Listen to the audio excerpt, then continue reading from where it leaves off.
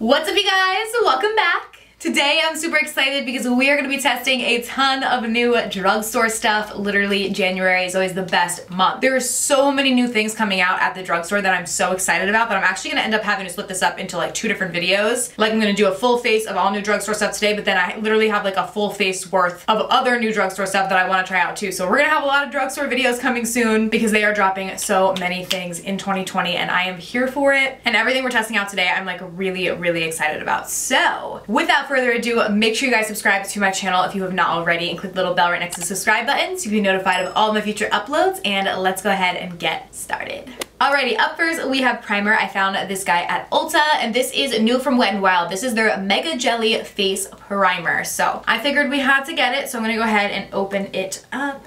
It has like a little um, foil seal on it which is nice. Some of the stuff we're testing today was sent to me in PR, but honestly most of it I bought myself. Um, so most of it came from either Walgreens or Ulta. Because sometimes Ulta doesn't have all the new stuff, but then sometimes they have like exclusives. Like I believe this was an Ulta exclusive, so like the only place you're gonna find this new jelly primer is Ulta. Um, so then I went to Walgreens as well to get some of the other stuff. But anyways, this is what it looks like. And literally at first I thought there was nothing in here because it literally is completely clear and it kind of looks like it's an empty jar. But there is a jelly primer in there if you guys kind of see it. Ooh.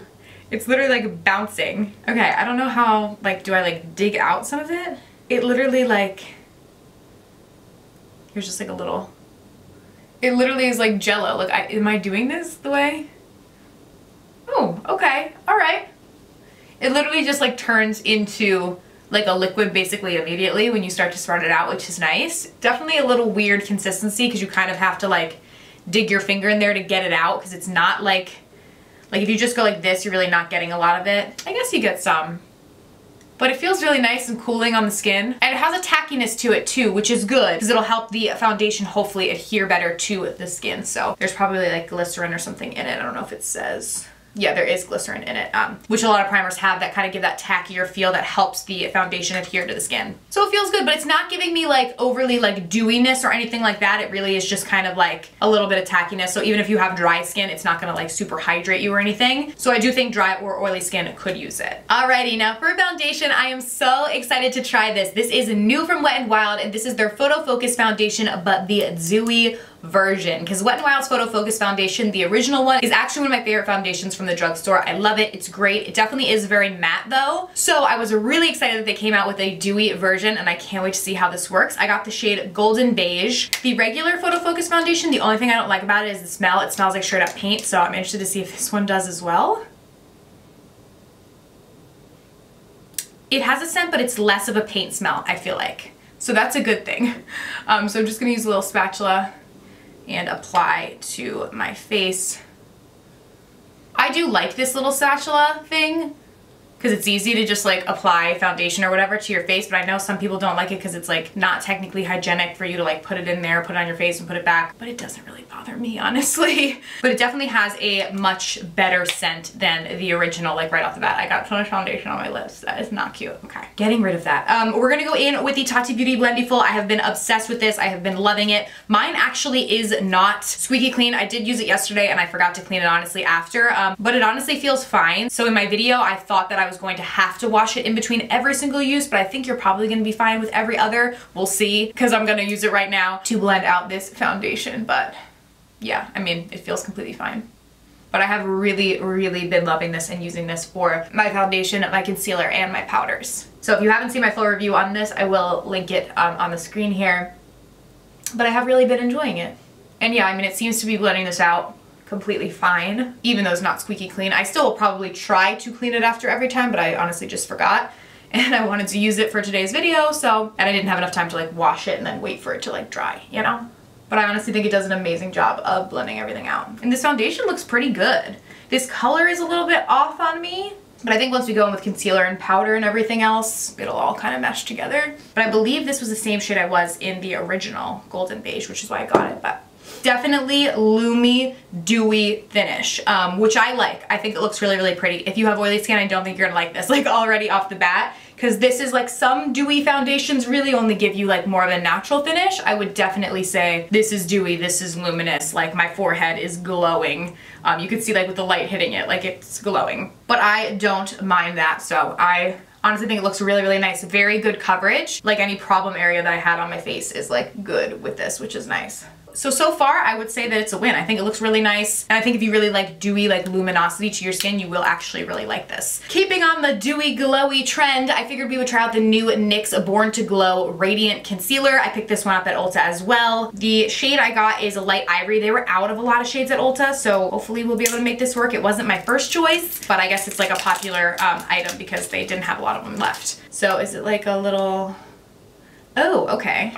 I thought it was going to be one of those things where you pull the stick, like the little um, doe foot out, but it's like one of these applicators. All right, got some there. Oh, this shade should actually be fine because I do like a lighter under eye. So I'm just going to apply this to my under eye. And if you guys hear any loud noises in the background, it's currently snowing outside and they're plowing the streets. Um, so I can hear the plows going up and down. Hopefully you guys can't. But if you do, that's what's going on. Unfortunately, I live in snowy New Jersey and um, yeah. Comment down below what the weather is like near you guys so I can vicariously live through you if you live in a nice climate. Although some people would say that snow is a nice climate too. I just personally don't like it. This concealer feels actually really nice. Like it feels cooling and like hydrating, which I like, but I'm interested to see because it's supposed to be glowy, like is it gonna crease like crazy? I don't know. Um, so we'll see. But I'm gonna go in again with the Blendiful to blend that out. I just kind of like pinch it like this um, when I'm blending out in more like specific areas. Yeah, this concealer definitely has like a glowiness to it. I feel like my forehead is glowing. but I don't think that's a bad thing.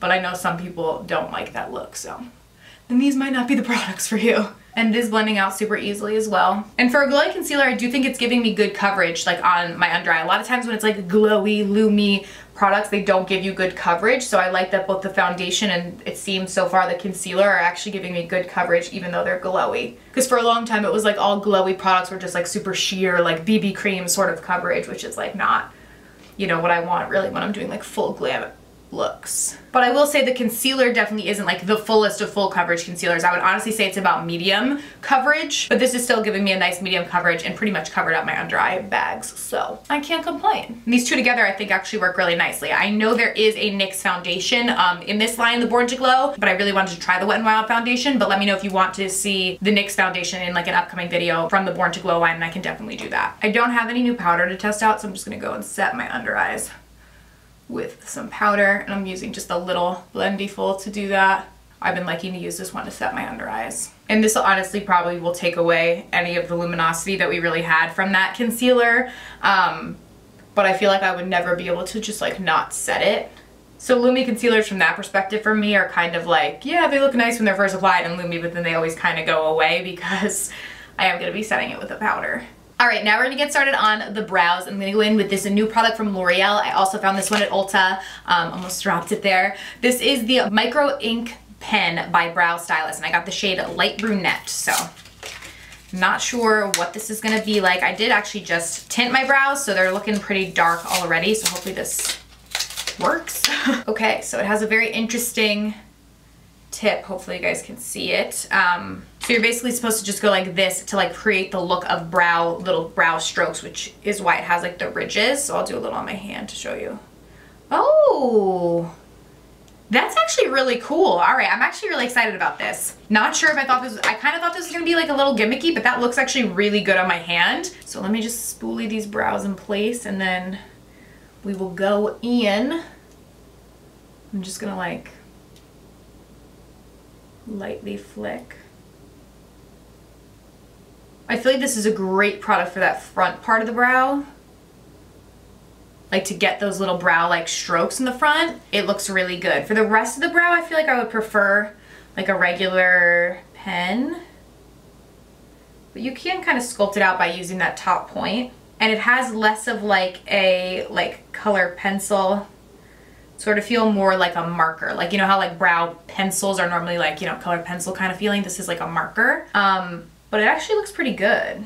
Gives a little bit more of like a natural look to the brow, but I don't mind it. And I actually really like it for that front part to do those little like hair-like strokes. I don't love it, but I definitely don't hate it. I feel like I wouldn't use it like this to do my full brow, but I would definitely use it in the front. Because sometimes I feel like a pencil can be a little too harsh right in the front of the brow, so this is great for that. But for doing my whole brow, I feel like just using a pencil would be easier, honestly. Alrighty, now for our eyes, we're gonna go in with the ColourPop Blush Crush palette. This looks so pretty. I literally like have to use it. So we're first gonna jump in with the shade The One. And I'm just gonna pop this in the crease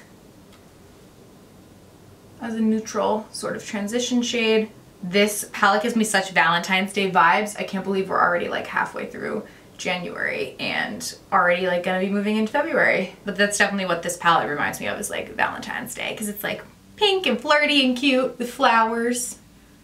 Now I'm gonna go in with Cheek to Cheek and I'm going to build that in the crease and kind of carve my crease out with that pink.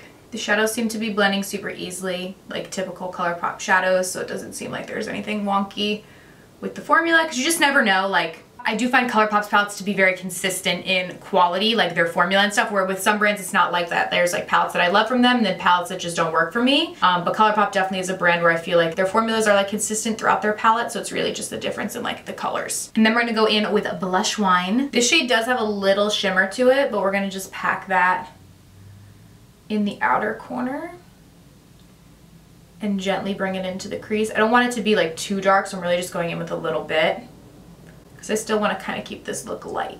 And even though it has shimmer, it's like blending fine in that outer crease area. It just has like very tiny like white kind of glitter particles in it. But as I'm blending, they're honestly kind of going away. so it's almost like working like a matte shadow. And then all over the lid, I'm gonna go in with a Blossom Up. And I'm just going in with my finger and packing this on the lid since it is like a more shimmer shade. I feel like they always apply better with a finger. So I try and use my finger for most of my lid and then I'll just go in with a brush like right in the inner corner where I can't get like a precise application. But that's really pretty. It's like a duochrome kind of, like it shines like pink and then kind of like a golden yellow in different lights. And then I'll just go in with a brush and do any area I couldn't get. And then just doing the same thing on the other eye. I love this like romantic kind of eye look. We are actually going to be going in with liquid eyeshadow as well because um, there's a new one from L'Oreal that I want to try. So honestly, a lot of this color is probably to get covered up, which is kind of sad because it's really pretty. And then I'm to jump back in with that blush wine and use that on my lower lash line just to blend everything out. I'm just popping that beneath here so everything flows together. And then I'm to jump in with Pop a Bottle to highlight just to make that shine a little bit. Ooh, that has such a pretty pearlescent finish. Wow. This shadow I feel like almost has a little bit of a different consistency from the other ones. It's a little bit more like almost creamy, less powdery, um, which is interesting. And I'm gonna just pop it in my inner corners as well. Okay, now over that, I wanna try these new Brilliant Eyes liquid shadows. I think this color goes pretty well. Um, I don't know what the color is though. Does it say? Diamond Drop. I love that. So these are from L'Oreal. They're new. Um, so I'm going to go in with this over and see, oh wow, it's very pigmented. So this is really going to kind of take away all the shadow, which is a little sad actually because it's a pretty shadow, but this is a really pretty color. Maybe I'll pack a little bit on with this and then I'll go in with a brush and kind of sheer it out. Let's do that. I'm just to go in with a clean brush and that'll help to sheer out the shadow so we can still see that pretty color beneath shine through. Ooh, that looks really pretty, wow. This is very, very pigmented too, which is nice. Definitely full pigment. Wow, that looks so pretty. Ooh! It's like soft and romantic, but still very glam, which I like. This shadow is blending out super easily with the brush too, which is really nice because not every liquid shadow you can really work with with the brush, but this one is working really nicely. I feel like it does look a little chunky though. Like it's actually not chunky like on my actual lid, but I think because of the, like how metallic it is, it almost looks like it's chunky, um, which I don't know if I love that.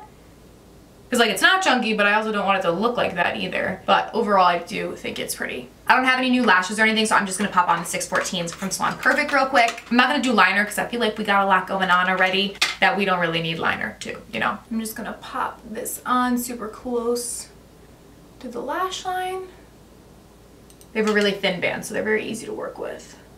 And you guys can find these lashes at Walmart. They're super affordable, but honestly, like, my favorites. And then my waterline, I'm just gonna pop in with the ColourPop Cream Gel Liner in Exit. This is my favorite white liner. Um, I don't have anything new, so I'm just gonna pop in with this.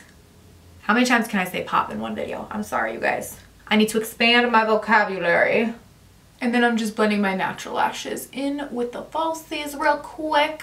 And then we're gonna move on to our new face stuff, which I'm very excited about. Okay, eyes are done, so we're gonna move on to the face. I have some really exciting stuff. So the first thing that I really wanna try is this is from Revlon, and this is their Skin Lights Prismatic Bronzer. It looks beautiful. The packaging is really, really pretty. It looks like it's gonna be a very like glowy kind of bronzer. Ooh, I'm excited. I've actually been using the little Blendiful. I've been flipping it over. Like I use this side for powder and then like for under eyes and then the other side for bronzer. And it's nice because it kind of goes to a point so it gives you like that sculpted kind of look. So I'm just gonna pack some of this bronzer on there and blend it. This is definitely like a lighter shade, so this is Sunlit Glow. So it's not gonna be like a super intense bronzer or anything like that, just kind of like a nice like natural glow sort of vibe. I feel like all of these products are like glowy products and I didn't even really realize that like when I grabbed the products for the video. Um, but I guess that's gonna be like a big trend this year is like glowy kind of natural skin, which I am all about. I feel like matte has had its time to shine for the past like 10 years. Like everything is matte, matte, matte. So I'm excited to see more glowy type products coming out. I feel like that gave me enough sculpting on my cheeks that I don't actually have to go in with like a matte bronzer to contour. But I am gonna go in just with a matte bronzer just to contour out my nose real quick so it looks good. I've been liking doing this recently. I used to never contour my nose at all. I feel like it looks better that way. For blush and highlight, I saw this little duo. This guy I found at CVS. So this wasn't at Walgreens or Ulta, but I did find it at CVS. And this is the Hello Halo Blush Lighter. So it's a blush and a highlighter. These are new from Wet n Wild. The shade on this is After Sex Glow, which is quite the name, um, but it looks really, really pretty. I hope my video doesn't get demonetized for saying that. So this is what the blush looks like. Oh, that is beautiful. And then highlight. Oh, yay! Okay, I'm so excited about this. I feel like this blush shade could also definitely be used as a highlighter on deeper skin tone as well, um, which is nice. And I'm gonna just put that on the cheeks because it definitely has so much glow to it. So it's like you can wear it as a blush, but then you could also definitely wear it as a highlight too, because it definitely has a lot of glow and sheen to it. And then I'm gonna go in with the highlight. Yes, oh my goodness. So, so pretty. oh, wow. Now my nose too. Oh my god, Wet n Wild always kills it on affordable. I mean, they kill it on everything, but especially affordable highlights. I feel like their highlights are always blinding and beautiful and super, super affordable. So like what more can you ask for? We are just glowing today. Last but not least for our lips, I'm just gonna line them real quick. This is the e.l.f. X Nabela liner. We do have a new um, lipstick and lip gloss though. Just no new liner, and this has been one of my favorites. The new lipstick that I want to try is from Revlon, and this is Super Lustrous Matte in the shade Untold Stories. They came out with a lot of new shades, um, but this looks like a really beautiful nude, so let's go in. Yes. Oh my god, this is beautiful. Wow. So, so pretty. I feel like it's very hard for me to find nude lipsticks from the drugstore that I really, really love. But this shade is like on point. Like this is the exact kind of lipstick shade that I love. It reminds me a lot of MAC's um, Honey Love, which I use all the time. Wow. Okay, this might be like my new favorite, like 100%. Untold Stories from Love Revlon. Don't sleep on it because this is really pretty. And it is a matte finish, but of course we're gonna go in with gloss because I have this new gloss. This is from L'Oreal and this is their Chromatic Bronze Lip Topper. It just looks too pretty not to buy. Um, so I found this one at Ulta in the shade Cosmo Girl. They did have a couple shades in this. And there was like no seal on this at all, so I'm like, mm, I feel like this has been used before, but uh, we're gonna give it a go. Ooh, that is beautiful. Wow. It has so much glitter to it, but it's so pretty. And it's not gritty glitter.